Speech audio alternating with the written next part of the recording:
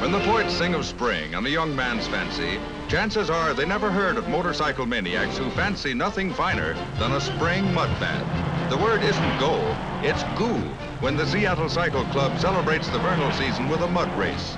The course is a heartbreaker of woods and water, muck and mire. 15 laps around and they lap it up. Supposed to be good for the complexion, mud is. Good for lookers, but not for onlookers. Stick in the mud is more than a mere phrase. It's a phase Mudder's boy goes through, but it doesn't last long.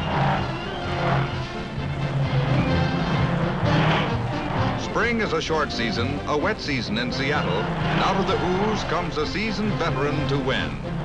Here's mud in your eye.